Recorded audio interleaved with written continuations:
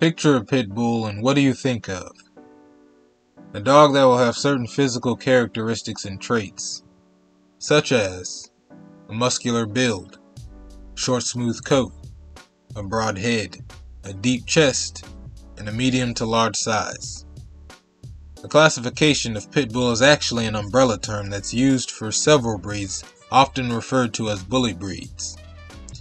To name a few, there are the American Bully, the American Pit Bull Terrier, the American Staffordshire Terrier, the Staffordshire Bull Terrier, the American Bulldog, and the Bull Terrier. These breeds have a rich and complex history. In fact, so complex and intricate that would have to break out the red yarn to string together all the connections. But in this video, I want to keep it simple. Maybe save that descent for a separate video. So let's start at the beginning. And I'll warn you now, it starts off a little rough.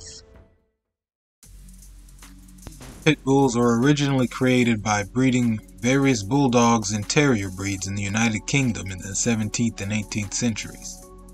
The primary purpose of these breeds was to participate in bull and bear baiting, which was a popular form of entertainment at the time. A sport in which a bull or bear was tethered to a stake and the dog was released to attack the animals, trying to immobilize it. This activity was eventually banned in 1835 in the UK. The British Parliament enacted the Cruelty to Animals Act of 1835, which prohibited the baiting of certain animals such as bulls and bears. But the people of that era moved on to ratting for the next form of violent entertainment. This practice pitted dogs against rats, in which they were timed to see whose dog would delete the most rats in the least amount of time. The pit in pit bull comes from this practice, as the rats were placed into a pit so that they could not escape. And if that wasn't enough, they then moved on to dog fighting because it was more easily hidden. Now on to some lighter information. The breed was brought to the United States and Canada shortly before the Civil War. In early America, these frontier dogs took on an all-purpose role.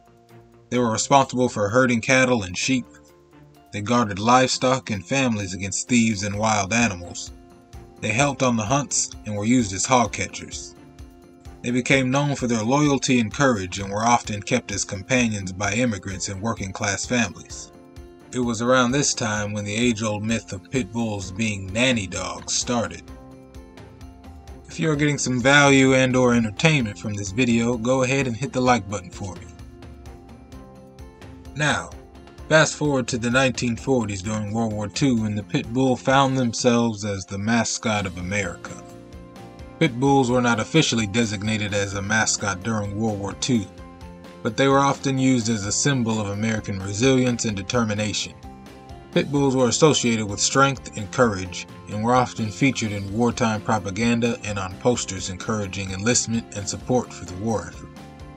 After the war, they were seen as an everyday dog and had a good recognition due to the dog Petey on the Little Rascals. Skipping ahead a few more decades to the 1980s, and dogfighting began to become more prominent again despite the practice being outlawed in all 50 states in 1976. Being bred for dogfighting and put on guard dog duty, their reputation took a turn back in the other direction of their original roots. Along with reports of aggressive incidents and the reputation of being associated with criminal activity, they were banned in many cities and municipalities.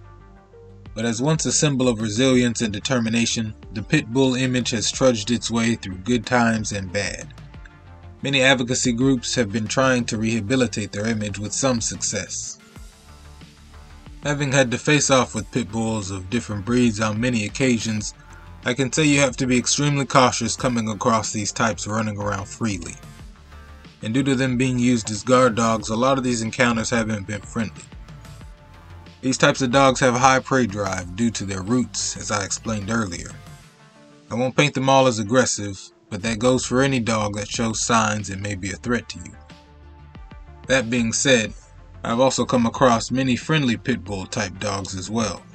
Learning to read their body language can help you assess whether or not a dog is a threat, but I will go over that in another video. And that will bring us to the end of this video. If you've made it all the way to the end, please hit the like button, share the video, subscribe to the channel, and as always, stay aware out there.